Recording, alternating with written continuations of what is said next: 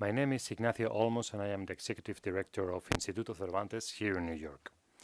Instituto Cervantes is extremely proud to present this event tonight together with the Sustainable Development Goals Fund, United Nations Development Programme, Cooperación Española, and the Fundación Universidad Rey Juan Carlos. In the equation 15I, I stands for ideas, imagination, inspiration, but also for innovation, inclusion, and interaction. Through this new forum, the recently created UN Sustainable Development Goals Fund and Instituto Cervantes wanted to create an open and equal platform in which specialists, professionals, activists, entrepreneurs, and academics around the world gather and share their be best ideas and experiences. 15i dialogues are organized as a set of interactive dialogues where attendees, both face to face or virtual, can engage in the topics discussed by submitting questions and posting their comments. In this first dialogue, we have a series of development experts who will share their expertise and thoughts on the theme of new actors, new challenges. We would like to thank our speakers, Bruno Moro, Daniel Runde, Jeffrey Huffines, and Annette Richardson for taking the time to share with us this evening. We are also extremely grateful for the contribution of David Ito Carrasco, who is the director of Tombo Productions and producer of humanitarian and development aid documentaries. David Ito will be moderating the dialogue this evening and also contributing by sharing his own thoughts on engaging communities, governments, and citizens with the challenges posed by this new development landscape. I would especially like to thank Paloma Duran, Senior Advisor of United States United Nations Development Programme, for taking the initiative and being responsible for the success of this first event. She couldn't attend this evening because of, because of a previous commitment in Madrid, but representing, representing her tonight is Raúl de Mora, whom I would like to thank for his invaluable support. And I would like to take this opportunity to introduce to you Anna Vázquez, our new cultural director who joined us last week. She has a great experience throughout various Instituto Cervantes centers around the, world, around the world and will be the person responsible for public and cultural programs from now on. Welcome, Anna, to Instituto Cervantes New York. And finally, we thank you once again for coming this evening, and I sincerely hope you enjoy this first dialogue within the 15i series.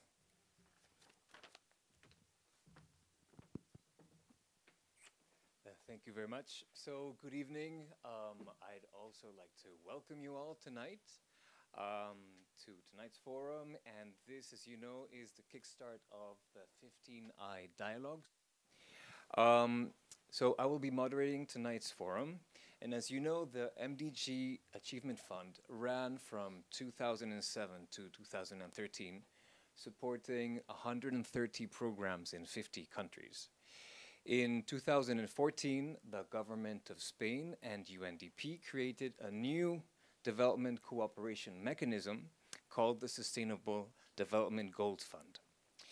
Um, this fund builds on the experience, knowledge, and lessons learned of the previous MDG Achievement Fund, and it places an even greater focus on sustainable development, highlight the sustainable part. So as the post-2015 agenda evolves, the 15I dialogues aim to create a space for open discussion and idea generation that contributes to the transition from MDGs to SDGs. Um, this first dialogue will set the stage for future dialogues on how to achieve greater gender equality, environmental sustainability, reducing inequalities, and using the worldview of indigenous peoples to better understand development challenges. So as these dialogues, as tonight, are based on open and equal interaction, there will be a space for dialogue and questions following our speakers this evening. And we highly encourage you all to participate with questions, comments, and suggestions, experiences. Um, we also encourage you to share your thoughts and questions using the hashtag 15i dialogues through the SDGF's Twitter and by participating in debates uh, on the SDGF and Instituto Cervantes websites. So now I would like to introduce our first speaker this evening, Mr. Bruno Moro, and he is the director of the Sustainable Development Goals Fund. He has over 30 years experience with the United Nations, and he will share with us tonight how he believes development cooperation is changing and the initiatives which he has seen to be effective in addressing development challenges. Well, many thank you for uh, this opportunity. Thanks to the Instituto Cervantes, it's the second time I, I'm here. The first time was uh, fantastic. We have the Playing for Change uh, band here uh, singing for us in this setting at night. So really beautiful and unique to stay here and I appreciate again this invitation, the opportunity to, to talk in this audience. Now, starting the conversation is always a handicap, no? because the other will be inspired while we talk. no? And, and this time of the day, I feel um, kind of uh, um, in, in, a, in a, with your presence in a challenge in, in saying something very relevant. But uh, um, I would like to talk briefly and try to concentrate uh, some of the concept that uh, um, I gather with my experience. And after 30 years, maybe it's time to find another another type of experience just to enrich my life and not to be uh, kind of uh, have this UN uh, sign over me all, only. But why I'm saying that? Because when the title of this, when we have the title of this of this uh, uh, dialogue among us is uh, the future development cooperation, I tend to think of the future of the UN in the context of development cooperation. Actually, development cooperation is wider than that. Uh, so I will mix the two because I think that there will be uh, there are connection. Uh, development cooperation is is development cooperation. It's not the UN development cooperation. Of course, UN has specific role of which I am proud. I was joking about the need to to, to find something, some, some, something else uh, uh, to enrich my life after I retire in a few days. But, uh, but and I'm very proud that I've been working with the United Nations in this sense. Um, definitely uh, there is a future for development cooperation, but uh, we have to be aware uh, that important changes will come to, to toward us, and then we we will have to work in adaptation. Actually, I think that so many important changes have happened uh, in the recent years that we have been changing continuously without really realizing. There are some subtle changes that are coming, and all of a sudden they transform all, all of us.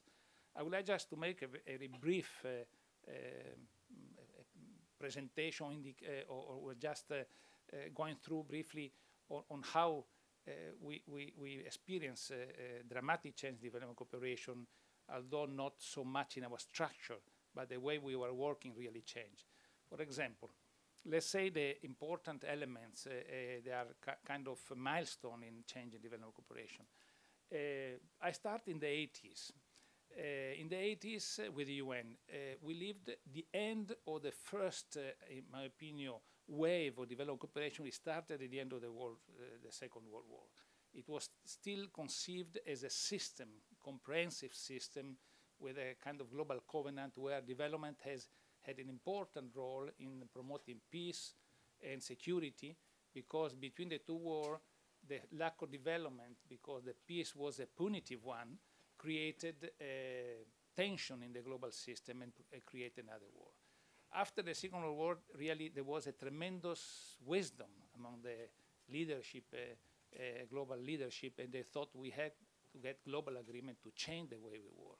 So from the part of the, uh, from, from, from, from, the UN side, uh, the, the, conception was we need a, a, political system or a system that address political uh, conflict, but at the same time development and also trade. So we have the secretariat, we have development system with the agencies, and at the moment to establish the trade system, already the post-war system uh, collaboration was less obvious, so it remained pending until, until the end of the 80s. But uh, what was the system uh, in, in, the 80s? Was UNDP uh, was the central funding agencies, and it received the funds to distribute the fund to other agencies according to planning, five-year planning exercise. It was kind of the, the traditional planning. In the, at the end of the 80s, with the fall of the Berlin Wall, really it changed completely the world. Uh, one of the consequences for the development was first, first of all, that in few years the foreign direct investment was 100 times, 200 times, 300% more than development cooperation. So all of a sudden our relevance, the UN, but in general, was really uh, unbalanced from, because of this new uh, new uh, uh, factor. So we were not important so much for the resources, but for something else. And maybe we didn't realize the something else is to to provide the standard setting, to provide a right approach, to provide a kind of uh, global monitoring that they, that, that they were un not unbalancing. So a specific role that we still have to adjust actually. And, and, and, but we did it. You remember that the whole decade of the 90s was the big conferences of the UN. The uh, Rio conference, on the Cairo conference on population, then we had a conference on uh, Beijing. On the, so we were setting, so the system after uh, the collapse and, the new global system, we were uh, uh, finding the way to set global agreements and only under the UN this global agreement could be set because the UN promoted a, a platform for discussion that were neutral and so on and so forth. Of course, World Bank changed and so on and so forth, other things.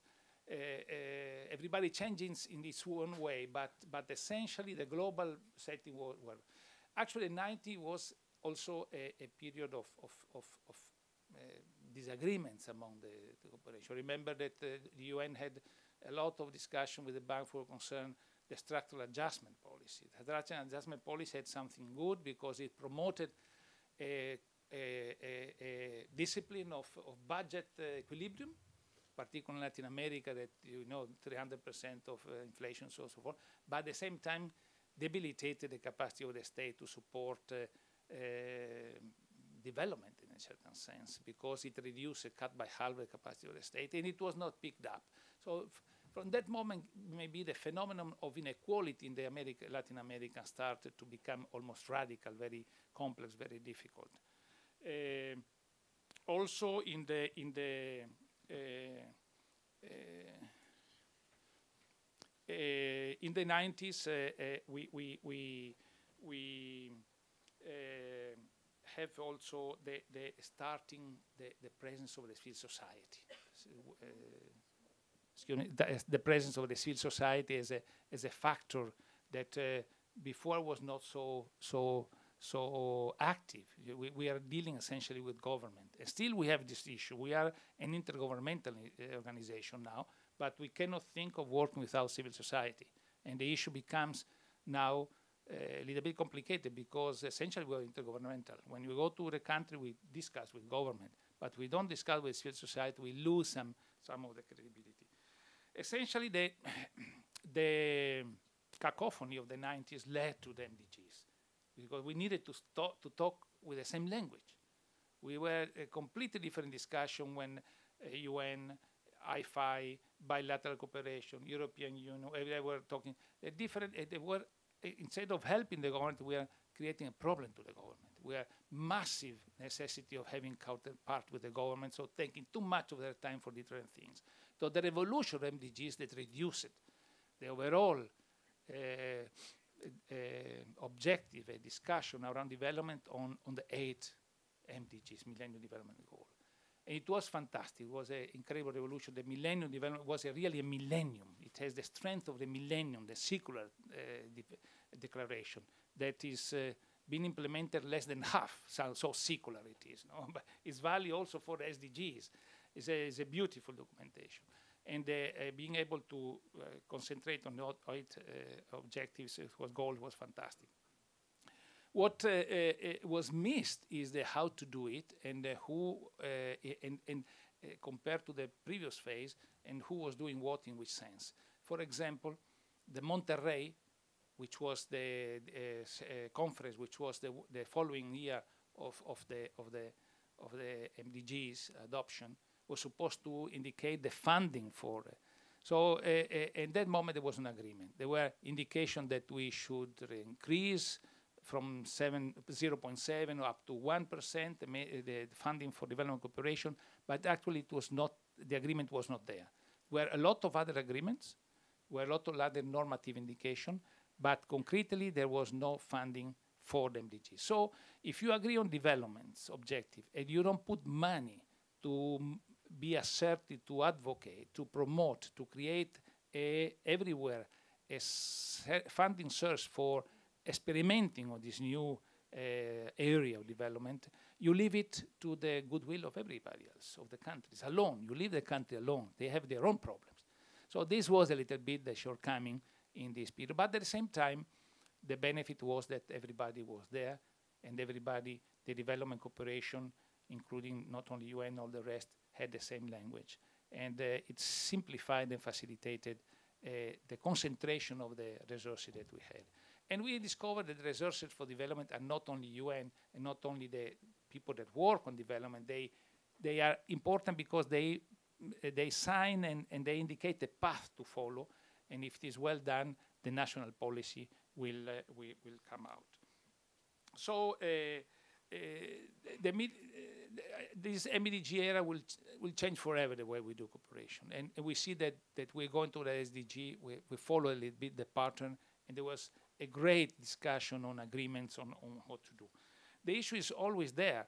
While we uh, uh, realize that we, for us, that and when I think of the future, that we, we the importance of uh, having the UN, having uh, agency to work in standard setting and so on and so forth, and the relevance for the future of humanity of having this type of organization or structure um, that has a specific role jointly to other. And at the same time, we see that we have a reduction of the of the funding for for this institution. Th- then you ask yourself what is really happening here, because uh, uh, the, issue is uh, maybe we should think a more drastic way of rethinking our role in this process.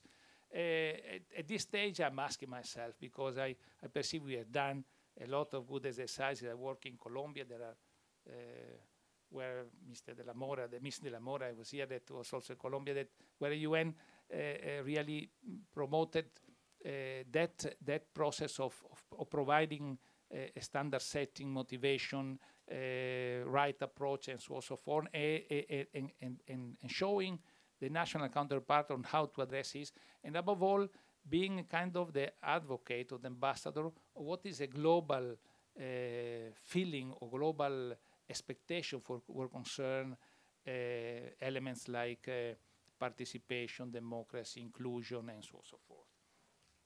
The MDGs left something uh, out, of course, couldn't be otherwise, but but th- that is interesting to see uh, what was left out uh, and, and, and what is changing with the SDG.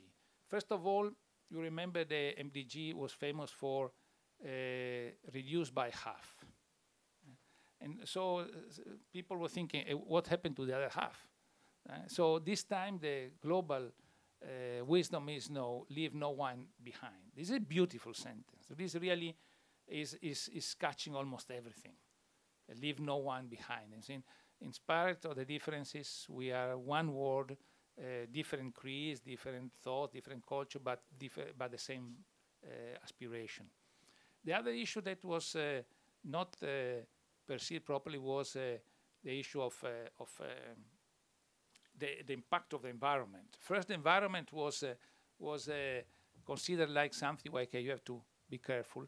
But now we have a, a situation where you have to uh, not to do like the French and the and the and, the British during the at the beginning of the Second World War, there were appeasement with the aggression of the Nazi. We should be appeasement with the degradation. We should really combat it more forcefully because now we're in a situation that almost we of, of no return And its no return is really a, a, a, a difficult issue. Another thing that uh, was not expected was the uh, capacity of resilience of the en entrenchment of the extreme poverty. Really, MDG didn't affect the extreme poverty, didn't impact it properly, extreme poverty. They are still there. So, and, and the, strangely enough, extreme poverty is where uh, you have countries that have improved and now are not, uh, the north-south divide is changing. They are, they are growing more than advanced industrialized country we have example in Africa now, the, the fastest growing uh, uh, continent, Latin America until recently. So in rich middle income, high middle income, we have uh, among the worst of, of the of the. So it is a phenomenon that, that we have to sue. And uh, the demographic issue is also something that will impact uh, absolutely because we have the pyramid which is inversed in certain part of the world much, than, uh, much more than other and almost complementary. So Europeans should live with the African because there are a lot of youth there and a lot of uh, all these people in the European country, and that's why maybe we have this migration in the Mediterranean. That's so, so this is an element that's tragically human, and we need to do something for that. So, the, of course, we see that uh, that uh, uh one of the elements of the five uh, uh, driving elements of the of the SDG is job creation. I remember when I started the, my career, uh, the principal issue was job creation. I'm ending the career, job creation is still there. So this is something which is really uh, the capacity of uh, derailment of society that we can see. Uh, the, the, funny things that I have is reading Paul Krugman in New York Times against the uh, uh, deflationary policy uh, that we have in Europe, and that's why we we we we don't uh, uh, Uh, in Europe we don't uh, promote job and and how and the other side the, res the, the response to Krugman on the other side was a very interesting debate. You know how we promote job uh, creation is something that is tragic because it's is is one of the issues that created. Uh, that created the conflict in the past was access on job. One of the issues is creating a new sort of conflict, which is the explosion of the, uh, and I'm finishing now, so, so don't be worried that uh, uh, as a good Italian, after I warm up, I, I tend to, no, but, but I will, I, I, of, the, of the organized crime. The organized crime become, is, is really capturing part of the states in an unusual way and is becoming a structural impediment for everything for democracy, for normal living, societal living. So this is an issue that uh, that uh, we we hadn't have not foreseen the importance of development. Uh, uh of, of job creation for, for, for, for, the future.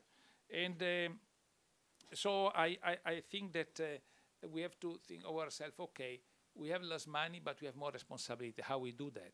Definitely, we will need to have a, a rethinking. I hope that uh, it will not be done, uh, this rethinking, because the reality will impose us with tragedy and catastrophes, but because we will be able for the first time in, in, in, human history to, to foresee that things are coming and they will be able to set and put in motion uh, action that will uh, prevent uh, difficult time for, for, for, for, for us, for humanity to, to in the future. And I speak now not of, of, of poor country, not of, of uh, develop, country, developing country, because this category are being washed away somehow. It's, it's now a discussion about humanity, because these phenomena are impacting everybody. Thank you very much.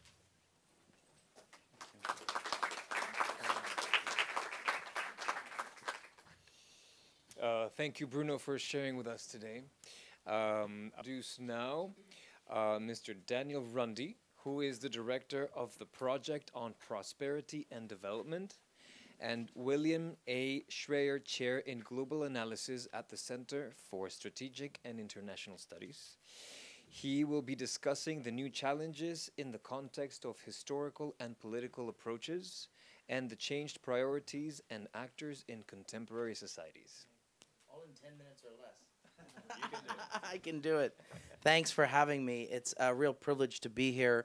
Uh, I'm a beneficiary of Spanish capacity building. I lived in Granada, Spain for a year, and so I have an enduring love affair with the country of Spain, and so it's really a privilege to be here. And um, I'm uh, want to also recognize the important contribution of Spanish development cooperation. Spain is a uh, has been a country that you know has experienced development, but is also now a major donor and is recognized as such, and so has a lot to contribute to the global conversation. This is the one of the many ways in which it's doing so. So thank you for doing this.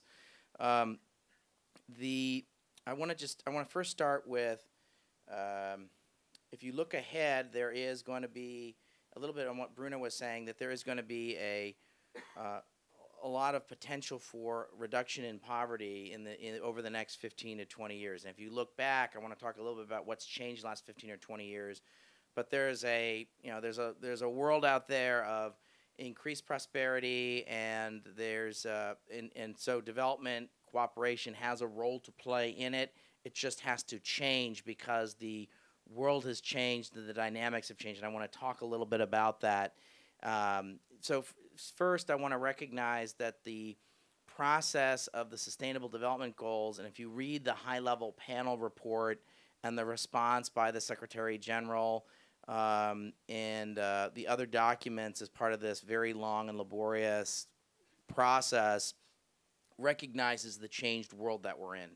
Um, from 15 years ago when these were first uh, written about written up, um, one is there there's an increased emphasis, some in some ways going back full circle, as Bruno said, to uh, job creation. Uh, uh, there's a there's a conversation in the in the discussion of the SDGs around governance, uh, rule of law. There's been some issues around the phrase rule of law, but uh, the idea is there's a recognition that governance is an important part of development. Um, and so I, think there's been, uh, and if you look at the change in resource flows, again, something Bruno was talking about, if you look, I'll use the U.S. as a context. In the 1960s, something like 70% of resources from the United States to the developing world was foreign aid, was ODA. And 30% was foreign direct investment, remittances, and private philanthropy. Today, 10% of less than 10% of the resources from the United States to the developing world is ODA and it's 90% foreign direct investment, philanthropy, remittances. Now, the audience might say, well, that's because the United States is stingy and they're not very generous, but I would argue that it's a far larger pie. There's actually was a tripling of ODA in the United States from the year 2000 to the year 2010. The Bush administration um, tripled foreign assistance. assistance. It was the largest uh, increase in foreign assistance in the United States history since the Truman administration, since the launch of the Marshall Plan, and built upon by uh, and followed on by the Obama administration. So it's been a bipartisan phenomenon. Um, and so I think it's not a question of, of ODA, it's just that, that globalization has happened. And if you look at Europe or you look at other OECD traditional donors, I would argue that that, that same change in the economic makeup has, has happened. I've been traveling, I spent a lot of time on airplanes. I've been uh, to a number of different countries in the last uh, three or four months. I spent a lot of time talking to foreign ministries and aid ministries. Um, I was uh, with the African Development Bank's board of directors last week in Abidjan and spent an hour with them, and they have produced some very interesting studies um, just some just some additional things about the way the world has changed. In the year 2007 in Africa, uh, remittances surpassed foreign aid as a resource flow in Africa. In the year 2012, foreign direct investment surpassed foreign aid in Africa. So even in the even in the continent that continues to have some of the most challenges of global poverty, these other forces have in essence caught up. I do not believe that you're going to see some radical change in that makeup anytime soon, unless you tell me that there's going to be a cutting in half of global migration and half of the Africans in the diaspora to come home, or um, or in the foreign direct investment, or whether now, okay, it's it's uneven. Uh, it's uh, and then the other data point is in the year 2000, there were, and this is some this is I think it's either UNCTAD or it's another UN agency there was $100 billion of what's called domestic resource mobilization in Africa, compared to about 30 or $40 billion in foreign aid going into Africa in the year 2000. By the year 2010, it was something like domestic resource mobilization, which is in essence taxes and fees collected by governments in Africa, was $400 billion compared to $60 billion of foreign aid. So what I'm saying is, is that there are these other forces in some, in some countries, many countries, an increasing number of countries, even in Africa, there are these other actors that are, that are changing the game, and we have to, as official donors, have to move off of thinking they're the largest wallet in the room, and they have to rethink their role in this changed world. Um, obviously, there are a whole other series of changes. We could talk about global aging. But the other thing I want to also reference is middle income countries. What happens? Um, I was at among one, one of the other places I was at in the last uh, two weeks. I was in New Hampshire for the 70th anniversary of the signing of the Bretton Woods Accords, right, which were the, uh, in essence, the treaty to uh, kick off the IMF and the World Bank uh, launched by what was described by Franklin Roosevelt as the United Nations in 1944. And, and so this was the 70th anniversary of the signing of that. Um, and um, development, there were two strands. It wasn't just reconstruction. A lot of the conversation around the World Bank is about the World Bank was set up to rebuild Europe. But many of the stakeholders that were there, many there was a very large representation from Latin America in 1944 they were speaking about development. They wanted to have development. There was a whole, you know, there were uh, representation from Asia and from Africa at that conference in 1944. So, um, development has has been there for a long time, and so it's it's just development's going to have to change in this changed context that I've just been describing. Um, let me just suggest some ways in which ODA is going to foreign aid is going to matter, or development assistance or development cooperation is going to matter in the future in this in this changed environment. Uh, there are, I mean, I've worked with a lot of philanthropy in the last 15 years of my career. I've worked with, I've worked at a, a commercial bank doing commercial banking. I've worked in investment banking. I've worked at a bilateral donor, and I've worked at the World Bank Group. And I can tell you that um, I'm all for globalization. I'm all for free markets, um, and I'm for democracy promotion. But there are certain things that ODA can do even in this changed world. So let me just suggest some some as the following. Some are going to be things like anti-corruption, supporting anti-corruption initiatives, democracy promotion, things like supporting and responding to emergency response and conflict. Uh, I also think in this world of increased domestic resource mobilization, you hear it at all the international conferences, this phrase domestic resource mobilization.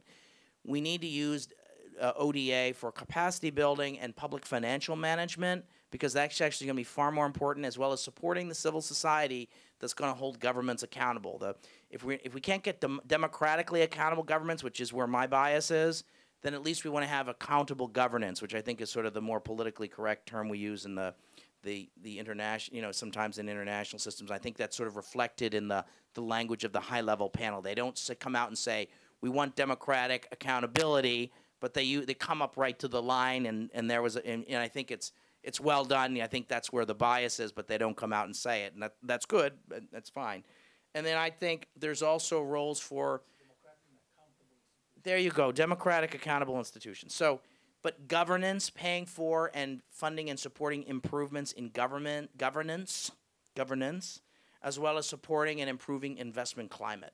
There are other things as well, but I would just posit that we're going to have to rethink our size and our role in this changed world. We're going to have to partner with others. And many countries are going to be able to finance their own development. Uh, and then finally, let me just leave one minute uh, for the special case of what I would ca characterize as middle income countries. I know this is a something that the, the country of Spain thinks about in its cooperation when it thinks about the Maghreb. Its new Plan Director talks, focuses on Central America and it focuses on the Maghreb. These are regions with middle income countries. I think the original rationale for development cooperation 50 years ago was about extreme poverty in the poorest of countries. What happens when you're working in countries that have starter foreign aid programs, that have sovereign wealth funds, that have the ability to finance a lot of their own development? We have to rethink the concept of cooperation in this change. It doesn't mean we have to disengage. It just means we have to rethink our, our, our mindset in this changed world. Um, I also think it's going to have implications for the, the, the old model of we have to get to 0.7%. Now, I know a lot of activists are going to say, oh, no, this is really important.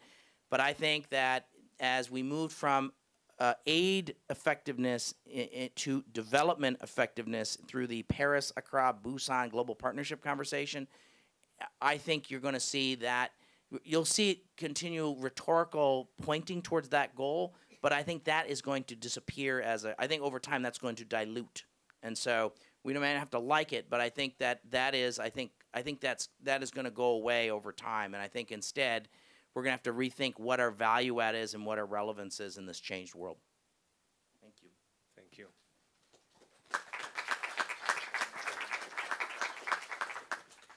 Speaker, who um, whose name is Jeffrey Huffines, who comes to us from Civicus, and will now describe how civil society is evolving as a partner in development, and what role civil society may play in the post-2015 agenda. Thank you very much. Well, I'm delighted to be here to join this uh, illustrious panel.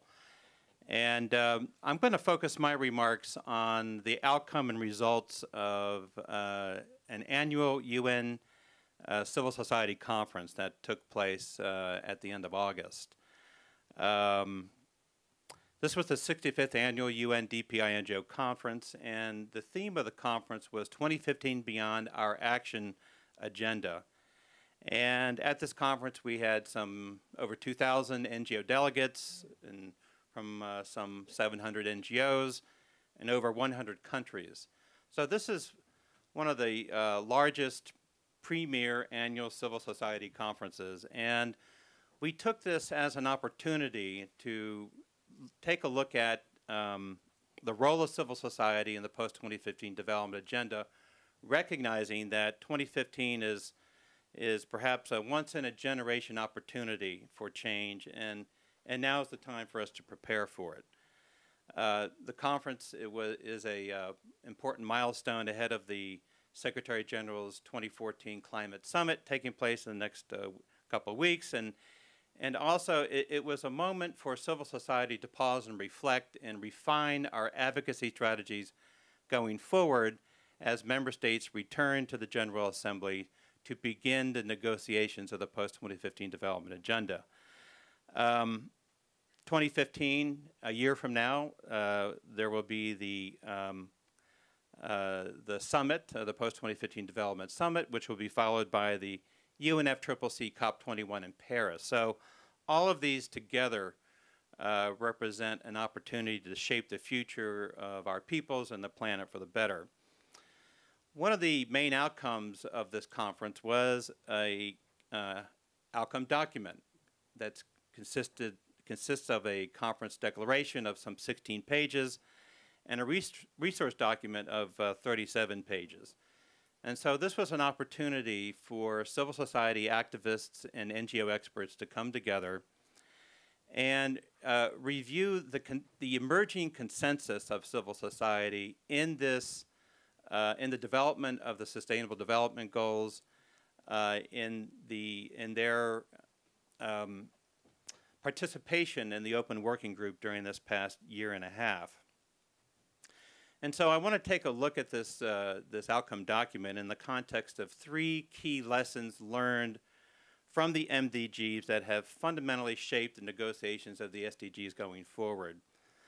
Uh, whereas the MDGs were uh, rather exclusively focused on the social dimension of sustainable development, uh, with the exception of uh, a rather weak uh, MDG on environmental sustainability. This new set of development goals will seek to integrate on a more equal basis the three dimensions of sustainable development and will be universal, universally applicable. And so the question is, how will this applicability uh, take place uh, across all countries. And uh, also, whereas the MDGs were decided by the UN Secretariat without the inputs of member states and other stakeholders, we've, during this, you know, since Rio Plus 20, we've been engaged in an exhaustive process of consultations, some 100 national consultations, 11 thematic consultations. Um, and so um, we recognize now we're at a point where the negotiations will begin, and the question remains how will all stakeholders engage in the implementation of the post-2015 development agenda and also in its review. Now, one thing that was very clear, I think, to all of us is that the, N uh, the SDGs will not be achieved without a robust means of implementation that go beyond the traditional donor-beneficiary paradigm uh, and needs to be coupled with a truly meaningful and revitalized global partnership for sustainable development to replace uh, MDG 8. Equally essential will be monitoring and accountability frameworks deeply rooted in human rights norms, standards, and mechanisms at all levels of decision making to be supported by the establishment uh, of the High Level Political Forum on Sustainable Development, which is a unique hybrid mechanism that operates under the auspices of the General Assembly and ECOSOC. Uh, in the negotiations of the High Level Political Forum, uh, on the one hand, civil society was very pleased that, uh, at least in principle, civil society and uh, other stakeholders have some of the strongest participation rights uh, in the intergovernmental process. And yet, the question still remains uh, in what? In other words, what is uh, what will this high-level political forum? How will it operate uh, in practice?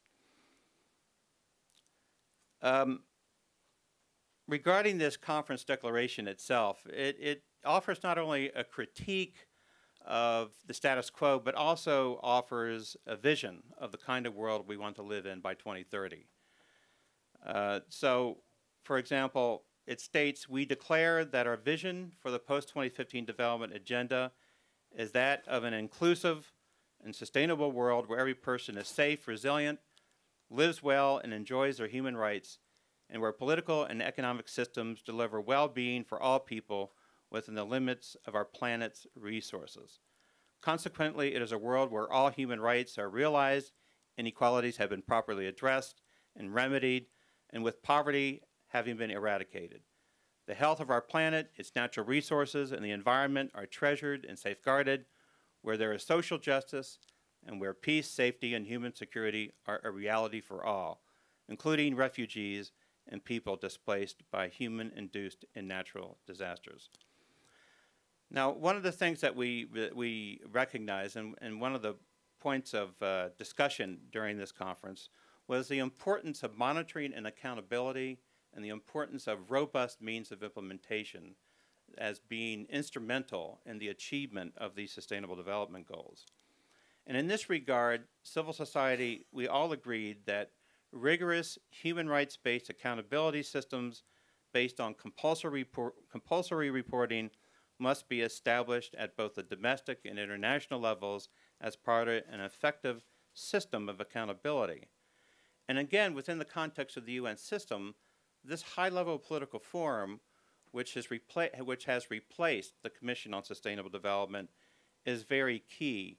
And yet our concern is that whereas the HLPF will be the home of the SDGs to review its functions, to identify emerging issues, and set the agenda, it's been charged with a very heavy agenda, and yet it needs an independent and strong position within the UN hierarchy. It needs to be more than just a Davos-style talk shop that, that meets eight days uh, uh, every year. We're concerned that the HLPF lacks a bureau um, and that uh, and also, we're concerned that it must be given the resources and responsibility to actually um, uh, fulfill its uh, mandate, which is to integrate the three dimensions of sustainable development across the UN system, not only in terms of policy or thematically, but institutionally and in terms of, of governance. So uh, on the issue of partnerships, segue right into your. uh, this was also a topic of, um, of, of, high concern in, in the um, conference. And on the one hand, there was a recognition that adopting a transformative vision for sustainable human development and translating it from policy to reality requires substantial institutional shifts and accountable and transparent new partnerships. And there was a reaffirmation that multi stakeholder partnerships between all levels of government, civil society, diaspora communities, academia, the private sector, and the philanthropic community will be essential towards implementation of the post 2015 development agenda, and thus should be empowered. However, at the same time, there was key concern that with regard to the global partnership for sustainable development, that its meaning should not be distorted into the notion of just partnerships in the plural. That is to say, the global partnership for sustainable development is one that is principally between governments of developed and developing countries, with the developed countries taking the lead in providing resources and the means of implementation, and that a genuine and balanced global partnership would enable people and institutions to monitor the common but differentiated responsibilities of all actors to prohibit rather than perpetuate global obstacles. There's quite a bit in the declaration and the resource document of poli policy prescriptions that uh, speak to the economic order as a whole and uh, the importance of developing a more equitable model uh, where, whereby um, the, the means of prosperity are allocated to, to those of us who um, are in the greatest need, the most vulnerable. And so there's a recognition that human rights norms that uh, is essential and that if we're going to develop an accountability mechanism, it must incorporate explicitly the human rights obligations that most member states have already uh, um, legally recognized. I'll leave it at that. Thank you. Thank you, Jeffrey. Our next uh, speaker is uh, Annette Richardson, who comes to us today from the UN Office for Partnerships, and she will speak about the active role that the private private sector is currently having, currently taking towards achieving inclusive and sustainable development. Well, thank you very much, and I'm uh, I, I'm privileged to be here. Thank you so much for welcoming us tonight in your beautiful home. Um, and I'm a bit of the opposite of Bruno. I've been in the UN now for three years, and uh, disrupting it quite a bit. Uh, uh, I come from the private sector, and so I have a, a very non-UN perspective on uh, on global issues, and perhaps that is the magic, uh, is to been able to facilitate a number of dialogue with the private sector and the UN in a much more, uh, perhaps in a naive way, but but building uh, interesting dialogue between the two, um, still very distinct world. Uh, the Partnership Office uh, is an office of the UN uh, Secretariat, so we report to the Secretary General and the Deputy Secretary General on matters, on partnership matters. And that is, um, we were created, before I go into a little bit deeper into that, we were created as a result of Ted Turner's uh, $1 billion gift to the UN, which was an extraordinary gift made by an individual and a gift that has not been replicated to date. Uh, he still remains the uh, one and only private individual to have given so much out of his personal bank account into the UN system at large. Um, that was back in 1998. Today, we've disbursed about 1.3 billion of Ted's uh, money, and uh, uh, we've disbursed it very uh, openly, and uh, particularly in climate and health areas. And we continue to uh, search for the next Ted Turner, obviously.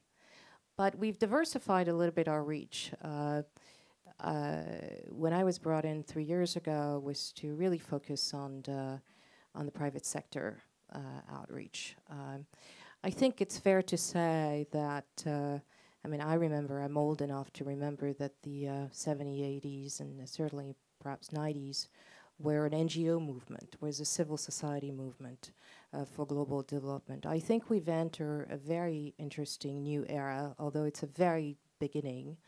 But I believe that the private sector is going to play a very substantive role into global development. Although we are in the very early stages of it, uh, uh, you know, the market is going to um, take on uh, some of the responsibility um, in, in global development. Now, that said, uh, if the UN, my position is if the UN is setting the agenda for global development, then the UN should be accompanying the private sector into that, uh, that, that work. Uh, there's a little bit of tension, obviously. Uh, you have on one hand a very political institution, and on the other, capital based companies. And so the tension is good, but the tension needs to be uh, uh, worked on and massaged, and, and there needs to be open dialogue. Uh, the UN needs to meet with the private sector, the private sector needs to meet with the UN and find ways to, uh, to work together. It's what I called, and I always tell Raoul, it's kind of the UN 2.0. And so we find areas within the UN, um, areas of innovation where we can actually drive the private sector to invest and partner with the UN in, uh, in very, very innovative ways. Uh, UNICEF, for example, has an, a, a, big innovation, uh, not so big, but, but pretty important innovation hub uh, where the private sector now is, is actually partnering. UNC, uh, a Refugee Commission also has uh, a number of uh, innovation projects. So we find projects, areas within the UN where we can actually uh, uh drive the private sector into, uh, into uh, working with us. It's not easy.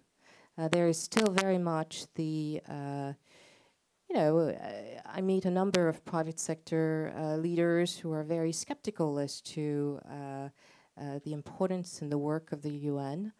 Uh, I think my role is to reassure them there are areas of innovations that are uh, important, and I believe that the market is going to be the so certainly a, a huge uh, uh expanding marketplace. There are emerging markets in areas. Uh, 20, 20 years ago, uh, were still very behind. the private sector is everywhere, much more agile and, and flexible it has expertise and knowledge uh, that the global development community needs. Uh, for example, on the Ebola uh, epidemic, uh, within a week, um, I had an email uh, with 30 um, Fortune 50 companies wanted to actually be involved and do something about it. Uh, the UN needs to be prepared to face uh, and embrace uh, these uh, these interests and these commitments. Um, and so we're we're here. The Secretariat, Secretary General, definitely is is behind building partnership and strengthening the partnership with the private sector, as well as high net worth individuals like the Bill Gates and the Warren Buffett of the world, because they also are have emerged um, in a in a in a very um, uh, profound way. Uh, again, I think that in the next 10 to 20 years, uh, we'll see. Um, uh, hopefully, we'll see a, a, private sector and and uh, and global community, global development community working together. Uh, I think it's happening in some areas. It's lacking in others. I continue to convene dialogues with the private sector. Um, uh, but I do think that we're in it together. Uh, I don't think we can work in silos and divided anymore to uh, uh to, to, to change uh, uh, and mitigate some of the global issues. I know we're pressed by time, so a little bit of an overview. Thank you. So, in addition to being the moderator, I was also asked to talk a little bit about my vision um, regarding um, how to engage communities, governments. Uh, according to my experience in the field, I started working in the field in 98, um, started with a French NGO, then moved to uh, the International Red Cross, and then eventually to the UN with uh, UNICEF and WFP. So I've been more field based than anything for the last 15 years. So maybe I thought I would bring in a little bit of that experience in the field uh, with regard to tonight's topic. And when uh, talking about engagement and thinking about the title of today's dialogue, which is New Actors, New Challenges, um, I also think that some of the challenges are old. It's not only new challenges, we still carry some of the older challenges and some of the older actors as well. And I was thinking of talking about um, local counterparts and my experience in the field working, implementing programs, especially nutrition and food security programs, which was my background. And I realized that still there's a lot to, in my experience, a lot to do and a lot to learn uh, regarding the engagement of, of um, these counterparts. Um, for example, um, I was uh, recently involved in a, in a meta-analysis of nutrition programs across the world from the last five years. So I'm talking about piles of paper that are like this tall, and we had to review all those program evaluations. And one of the most interesting findings from these program evaluations was that in fact, the local counterparts had been minimally part of the program cycle, had been minimally part of um, identifying the programs and uh, building the programs, including local counterparts in the management and leadership leadership of the programs. So that was quite surprising, but in a way kind of confirmed what I had seen in, in the field myself. Um, in many coordination meetings, whether it's at local level or regional level, or even at capital level.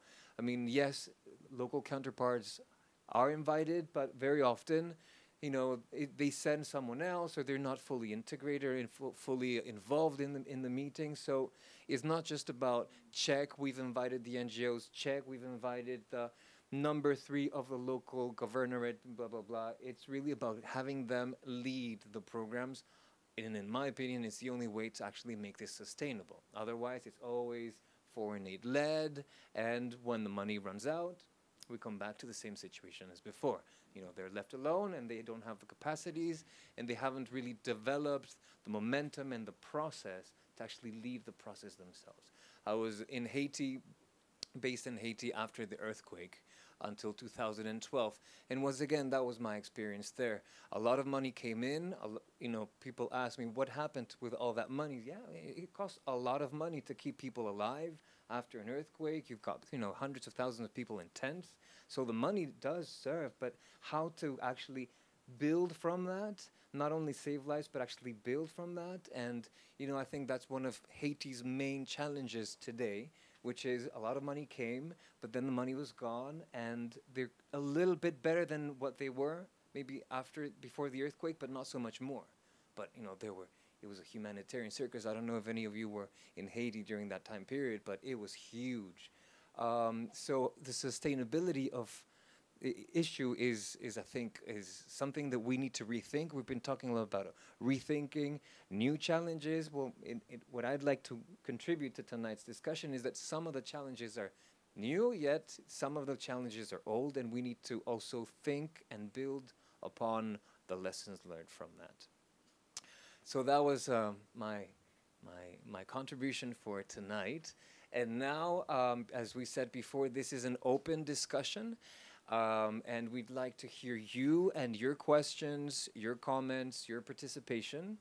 Maybe to warm up, we could uh, start with a question we've already or we've already received via email from Roy Ligo. Um, so I'm going to throw it out there, and whoever wants to answer it, it's kind of broad. Um, the question is, what examples of scaled up success in sustainable development are we able to showcase today? So, what are those success stories, scaled up success stories, are we able to talk about today? And what are the elements or conditions that promoted or led to that success? Excellent. So, um, I've had several past lives, one of which was at USAID, where I ran public private partnerships for several years. Um, and I want to talk about two examples um, of the of, of scaled sustainable um, success or sustain, of sustainable development. I want to. Um, the first is on uh, youth employment training. Um, there's a great civil society group called um, the International Youth Foundation, and it is built to work in multi-sector partnerships. And about 15 years ago, it had the idea of partnering with the private sector to bring young people into workplaces in the form of vocational technical internships or trainings in Latin America.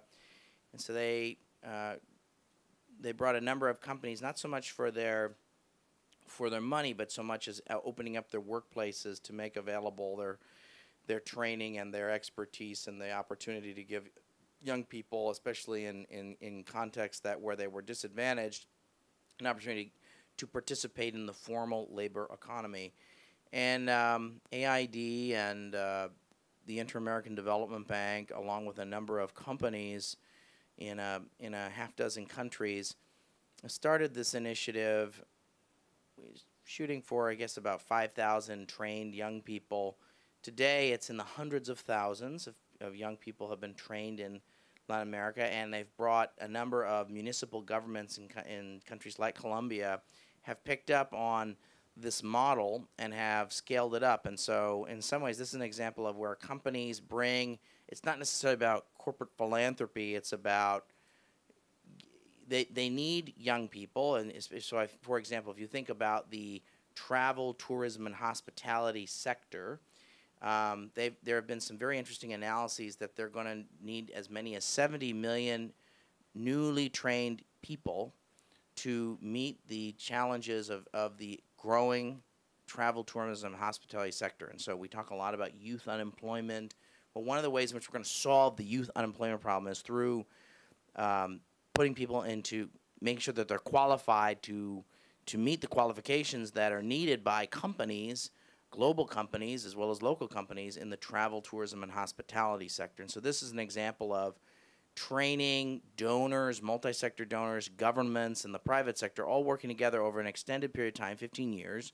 Uh, and it's now a region-wide and is training hundreds of thousands of young people in, in Latin America. Um, the other uh, would be um, I've seen a number of very interesting supply. Ch- I think one another area that I think ties into the issue of the globalization of supply chains. I mean, when you eat chocolate, you know that most of the world's chocolate comes from a handful of countries, uh, such as Ivory Coast and Ghana, and, and maybe maybe a half dozen countries. They don't chocolate just doesn't come from you know from the candy store. It comes from these, and usually you know it's, it's grown by smallholder farmers, millions of smallholder farmers. Well, you know, the cacao, there's a, as you, you have a growing middle class in places like India or China. Their tastes change. They want to buy chocolate too. And so, um, as a result, um, there's an ever increasing demand, thankfully, for, for cacao. But what's happening is there's a series of public good problems. There's um, there have been uh, insect problems with uh, in, insect insect infestations of the of the cacao crop. There have been diseases such as witch's broom that have impacted um, cacao, and as well as there's been uh, new, improved, um, uh, disease-resistant strains of cacao that have been developed by government and the private sector over time. Uh, but what's happened is, is this is to the extent that um, disease or insects impact the um, impact the cacao crop, it means that smallholder farmers are heavily impacted and has all sorts of negative impacts on on global on the on on rural economies all over Africa that you, one wouldn't think about. So there's actually a both a the, it's certainly a cash crop, but there's also certain public good components to it, and there's certain developmental components in terms of making sure that we're plugging smallholder farmers into global supply chains and making sure that they are increase and, and we want to maximize their agricultural productivity. So uh, the U.S. government, uh, the World Bank, um, many uh, bilateral donors, along with the cocoa industry, for about 15 years has been working on something called the Sustainable Tree Crops Initiative in West Africa. The Gates Foundation has joined it as well. And it, it is training farmers to care for their cacao plants. It's uh, working with uh, uh, governments to uh, to create the enabling environment to encourage uh, investment by smallholder farmers to increase their productivity. So it's a combination of science, training, and connecting to markets that, and, and um, again, a multi-stakeholder partnership. So those are two examples. One is youth workforce training in Latin America, and the other one would be around smallholder cacao farmers in Africa. Excellent, thank you. Yes, um, I think, s- yeah, we have a microphone that's coming your way. Hi, my name is Contessa Bourbon from the New York Times and London Times. I'd like to ask Miss Annette about the partnership partnerships with uh, private sector.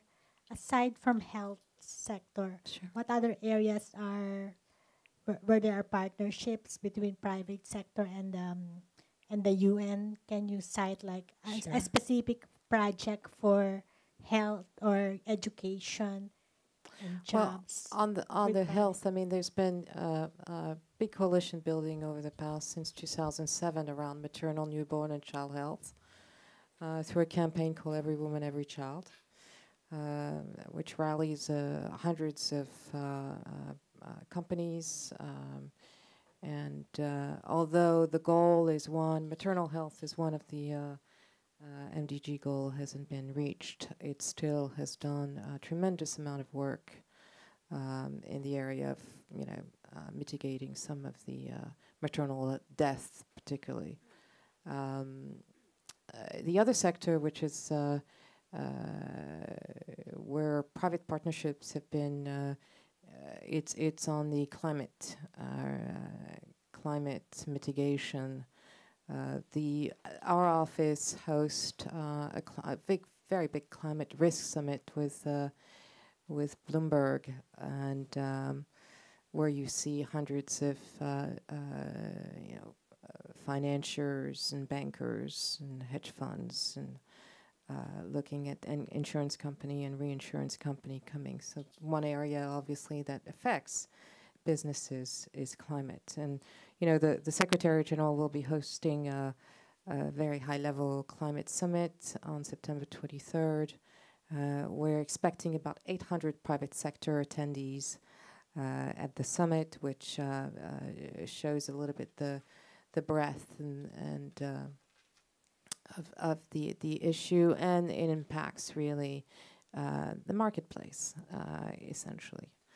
Uh, another, I think, area. I'm not sure about education because education, but another area with that has been um, uh, interest. I think has shown an interest uh, where the private sector has shown a great interest in is is, uh, uh, populations and certainly immigration. You know. Uh, um, displaced population um, and because it also affects obviously markets when you have you know uh, new populations coming onto um, moving into new countries. Um, I think that um, you know er- issues of uh, very specific health issues like AIDS continue on um on attracting a number of uh, private sector partners. Um, I think the uh, certainly on the labor and the capacity building on the ground is an area where the private sector is is obviously uh, very interested to uh, participate and be active. Uh, the area of distribution and supply, uh, supply chain, and an area that is actually uh, I will be working on very closely over the next few months is gender. Um, gender, which is a topic that will be making the SDGs list, um, and, uh, very happy about that. It is, yes, it is, uh, but it wasn't uh, not directly. Uh, but gender, uh, women's empowerment, um, uh, violence against women, um, education for all women and girls are areas that I believe the private sector is going to move uh, uh, very aggressively over the next few years. Um, I think Time Magazine was saying, you know, the 21st century is the century of women. And so I think you're going to see a lot of changes in that area. Um, That should be the list, right? Just to, to add a couple of uh, examples, uh, it was good the collaboration in the context of the UN, also in the case of reinsertion of ex-combatants with the private sector.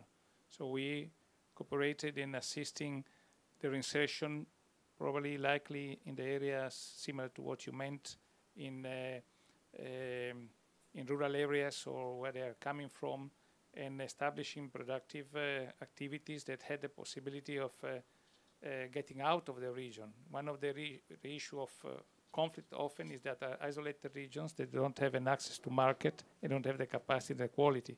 So our presence, we guaranteed the trust of the both of the private sector and the local population that were inserted and created this uh, synergy that prevent, uh, allowed the the, the establishment of working activities that provide the livelihood for that one.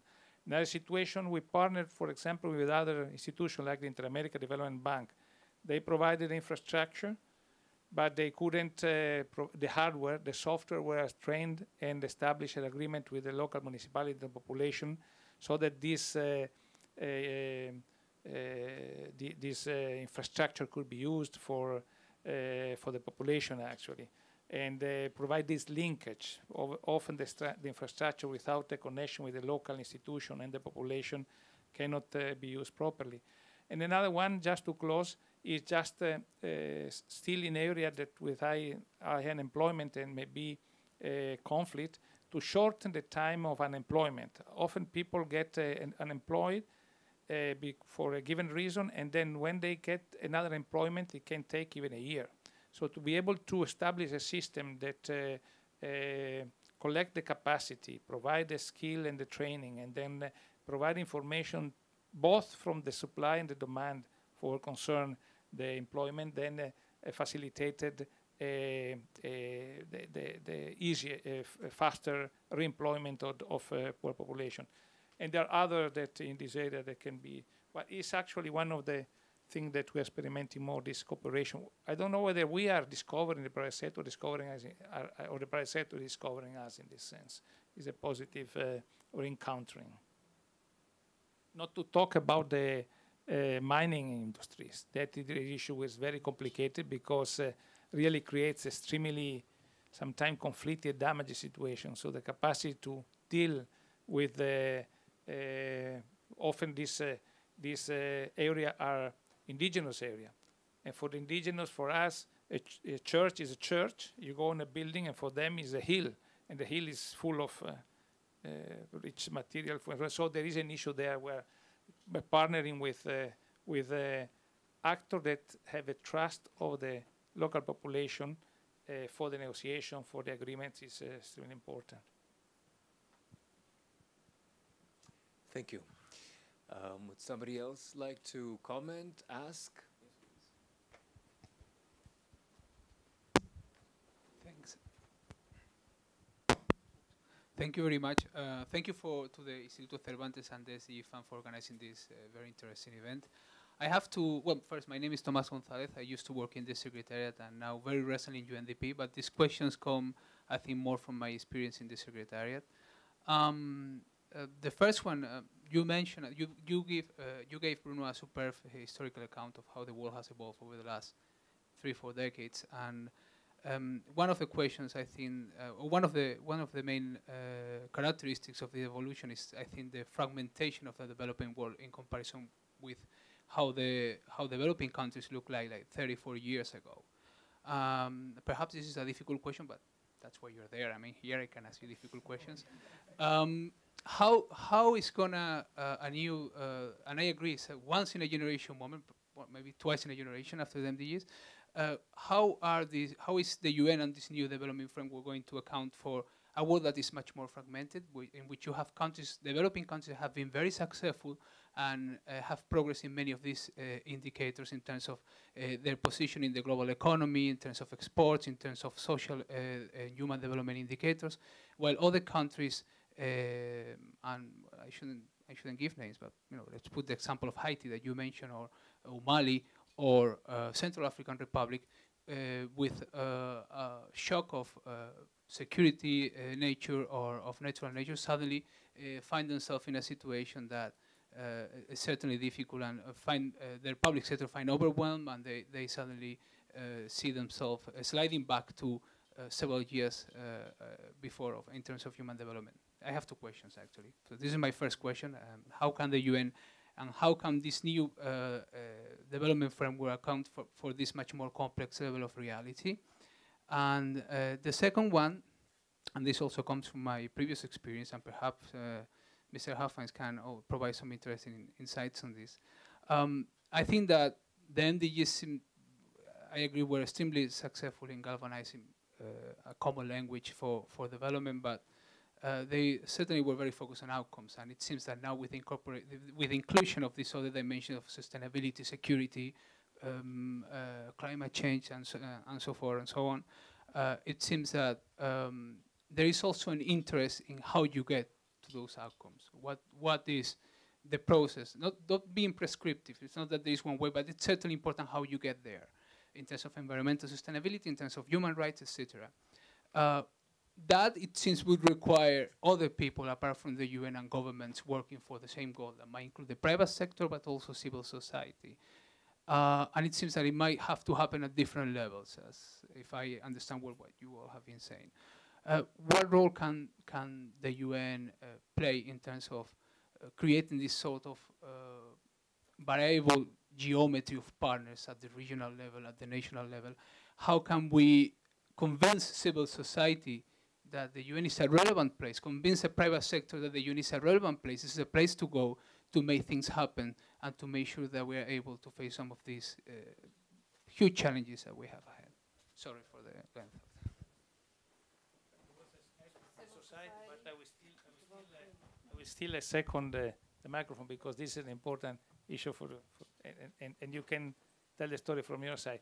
Uh, you, you ask a very important question, and actually, it is in direction of what something I hinted during my presentation, maybe it was not caught properly. Means one, one, one of the uh, value add of, of, of the UN, well, one is we have uh, resources for cooperation, which is dwindling uh, and is less important. And I discovered that uh, um, the flag is as important as resources and what the flag represents. The flag represents a, a, a place where you resolve conflict uh, because that was created the UN in, in general. And then you get agreement. So uh, setting up a situation where the UN is perceived as a flag, as a place where you can comfortably go there and express your grievances without being rejected, and at the same time you can listen to others, is a, a extreme, really important value added. The issue is that uh, you have to have the credibility, and uh, and that's where the problem. Uh, uh, UN uh, uh, has has to create a modus operandi that uh, um, is able to create credibility of actors like the civil society, uh, like indigenous community, like women that are better, and the private sector, because too often they are uh, disappointed because there is not continuity. There is a erratic uh, uh, attitude of behavior in the UN, and then, then, then you don't go there. So the issue uh, to be able, uh, the, the importance of, of, uh, of that problem, of that, that theme, is critical because it creates a lot of credibility to the UN. But the credibility, you have to gain it, the reputation through consistency, through principle approach, to being capable uh, of uh, getting tough times because of the principle approach, uh, but uh, with understanding and the capacity to be a lot of uh, empathetic. What is what is the others? What you do bring to the other to be able to to, to solve it. So, so if you think like that, you you the money are less important and the role is uh, more relevant. And when you focus on that, then the money comes because once somebody gets a situation that resolves conflict, that is economically relevant. So it it gives you some, some. But uh, we are not trained very much to do that. We are trained to do development, to program, and not to listen and to make the other uh, express the capacity to develop that they have, but they have not been empowered.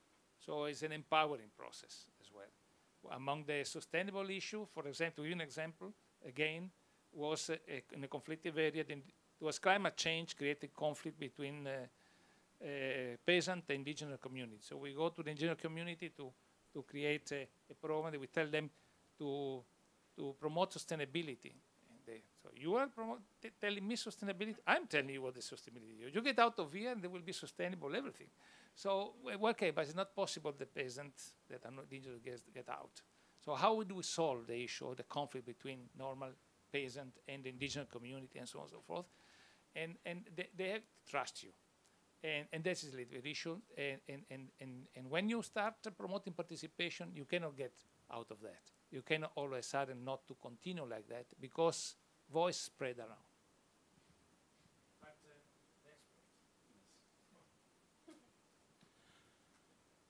Okay, well, um, you know, in my engagement with Rio Plus 20 through the major groups, uh, back in 1992, and the uh, at the UN conference on sustain on on uh, development, sustainable development, uh, the UN and member states created this concept of nine major groups. Nine major groups of what? Nine major groups of society, all of whom have a very key and critical role in the achievement of sustainable development. So you have everyone from business and industry, science and technology. You also have children and youth. You have women. You have, of course, NGOs. You have local authorities. And I think we really have barely scratched the surface in bringing these major groups of society together uh, to work together on these issues, um, on, on these uh, common goals. So, for example, uh, one of the major, I would say, contributions of civil society is bringing the voice of the voiceless to this, to, to the table.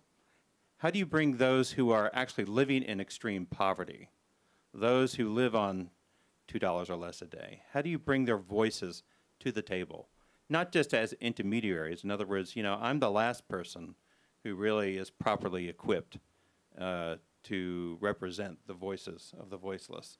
How do you bring those individuals, those communities, those families uh, to the table itself in such a way where there is actually a meaningful conversation between the captains of industry on the one hand and uh, the poorest of the poor on the other. And presumably, a part of this uh, objective is to bring the poorest of the poor to the market so that they can be participate, you know, they, they can be active participants in the market. I mean, one of the ironies of, uh, of uh, economics uh, that I was introduced to many years ago as an undergrad, when I asked uh, my, you know, uh, economics professor, you know, why, you know, what's the definition of a poor person? The definition of a poor person is a person without money. And, and until you have, you know, cash in hand, you're not going to be a participant in, in, in a market economy. And yet that, that, that's our conundrum, is that the market can only go so far in reaching the poorest of the poor.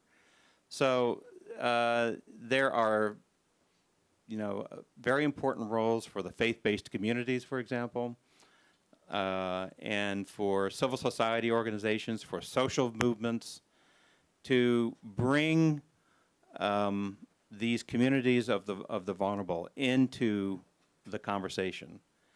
Uh, and to the extent that we can work together in partnership with government, with the United Nations, with with uh, the private sector, and develop those modalities where you had mentioned empathy, where you know we actually provide space to listen, to actually hear uh, and, and, and uh, understand the concerns um, of those um, who are um, the most vulnerable and discriminated among us. Just add to this quickly. One thing that I think has changed and I think will continue to transform the UN and the UN as a membership uh, is that we see the world now in real time.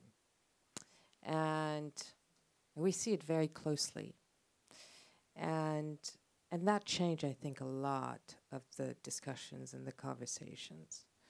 I, I don't think that, uh, you know, I think the multi stakeholders partners look at it, are sensitive to it, respond to it.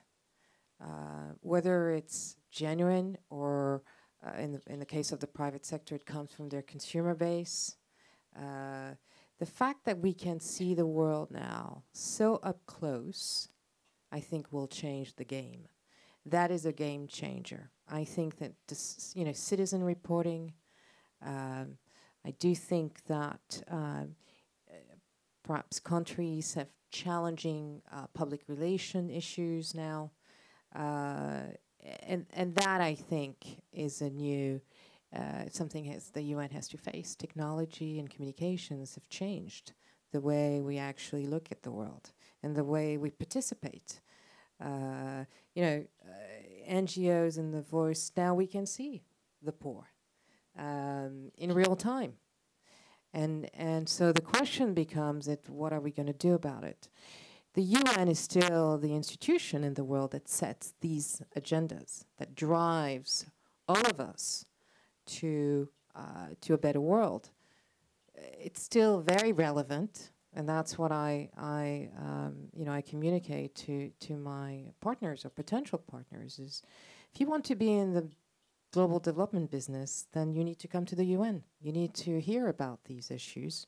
You cannot work in silos. If you want to accelerate and and and uh, you know uh, speed up uh, some of these of, of these uh, these issues need to be mitigated or uh, alleviated, then you need to actually come to the UN and have a discussion.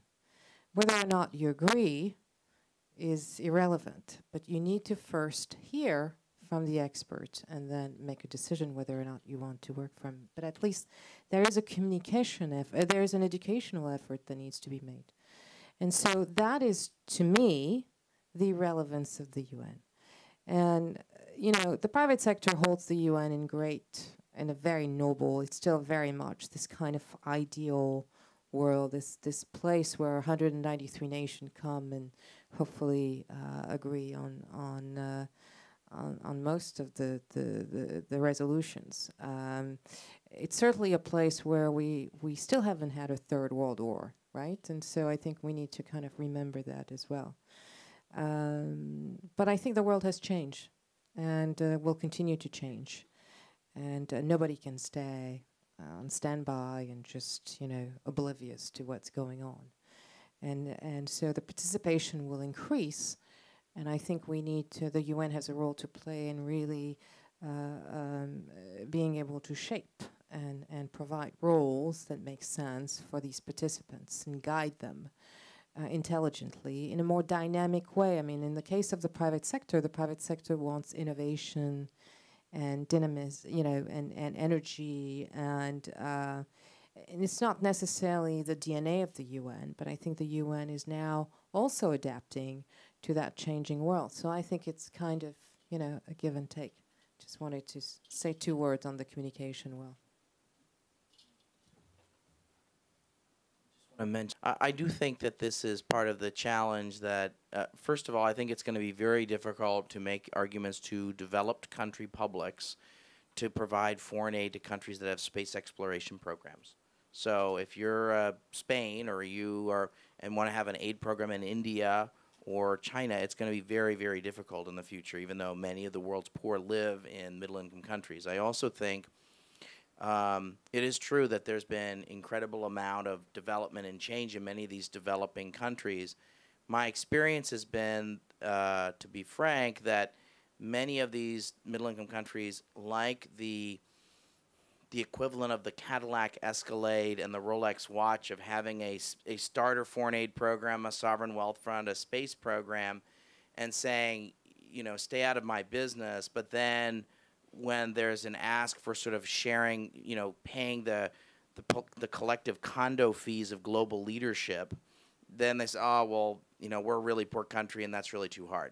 So if you're a Brazil and we say we really need your help in Colombia and solving the police process in Colombia, up to a point they'll participate or or help us, you know, solve a, a problem like Venezuela, you know, there it's not that constructive. And so I think, or you know, I I would argue if you ask some of the middle income countries around China how they're behaving, I think you might get a variety of a spectrum of answers. So I I just would just suggest that. Um, there are there's been an incredible amount of development, but the willingness to take on sort of burden sharing of global public goods hasn't been there. That's my that's that's a bias and that's an opinion, but it's mine and I'll own it. So, but I also would just say that um, I would also say that we've we've looked at this issue of middle income countries. I do think it's going to threaten sort of the political rationale to publics and to political leaders in developed countries and sort of the whole rationale sort of the global development industry in terms of saying if you've got countries who have been so successful it's going to be very hard to sort of we're going to have to rethink the rationale and we're going to have to understand where are we going to where are we going to make a difference. At the same time it's a good thing. We're supposed to be working ourselves out of a job. What we want are countries to look and quack like spain which was once an aid recipient and is now a donor. Uh, we don't have you know we don't have these sorts of worries about Spain anymore. We don't have these conversations about South Korea anymore. We don't really have these sorts of conversations about Costa Rica anymore. We don't have these conversations about the Baltic states or Poland anymore. These are all aid recipients. 18 of the 20 largest trading partners of the United States uh, are former aid recipients.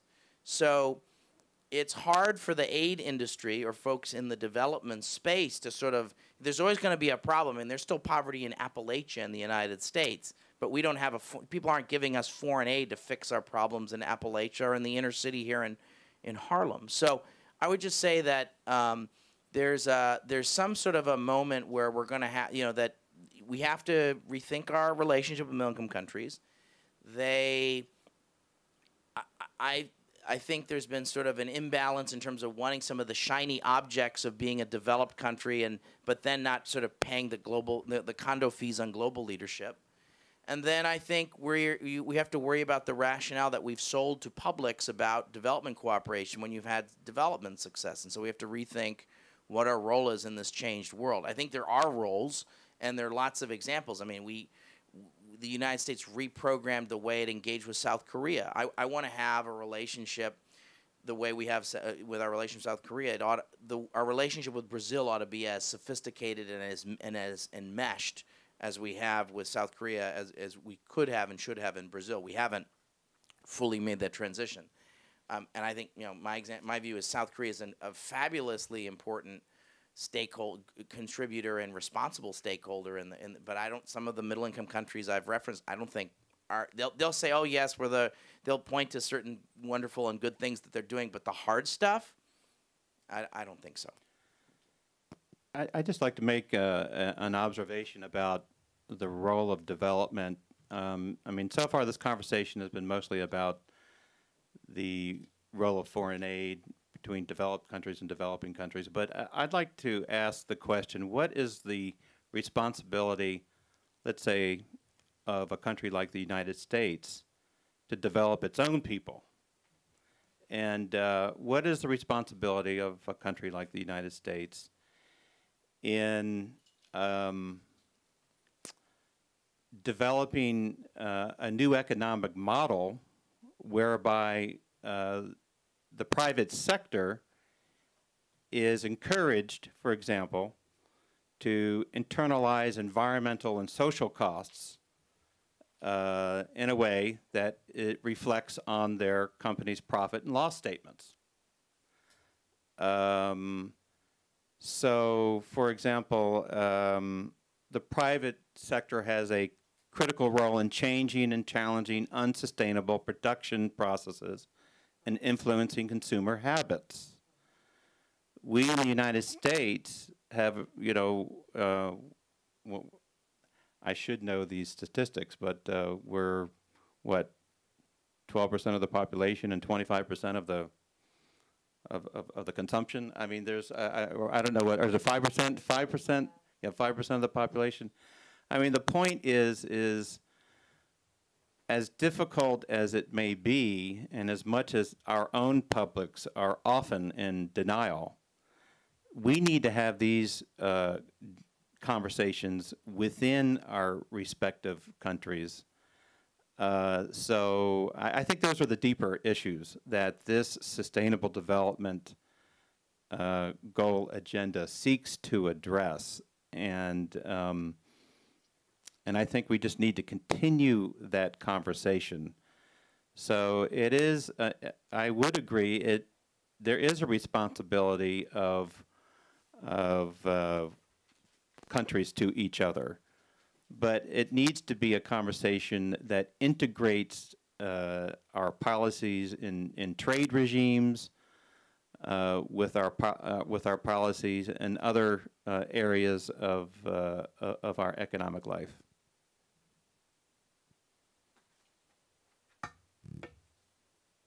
That was a very successful question because we've obtained a lot of uh, response from it. Um, and unfortunately, we've already gone through uh, the time that we were supposed to close. But um, uh, we still have the Twitter account I, I was telling you about, uh, hashtag 15i dialogues. Um, there is a website, uh, 15idialogues.sdgfund.org, in which, in fact, this panel and this discussion will be uploaded and you will be able to watch it tomorrow. Um, so we thank you very much for attending this first um, 15i dialogue. Um, please please feed in into Twitter and uh, send us emails. Let us know what you would like to hear in future 15i dialogues. Um, we hope that you've enjoyed um, this evening, and we look forward to seeing you at future future events like this one. Thank you very much, and have a good night.